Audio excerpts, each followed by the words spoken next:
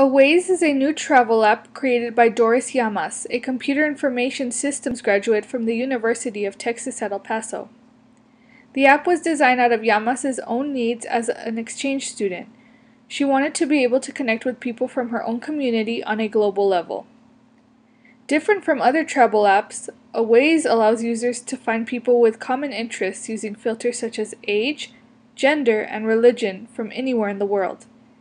Users of the app can create profiles where they can share countries they have visited, as well as post upcoming trips, send messages, and chat with friends. Llamas hopes that the app will revolutionize the way that international students and students traveling abroad connect. Along with her team of 11 other students and travelers, Llamas launched the app on August 1st of 2016. Currently, the app is going through a 6-month beta testing and optimization period. Awayys is currently free on iTunes and Google Play. For more information, visit their website at awayys.com. Reporting for Borderzine, Esmeralda Trevino.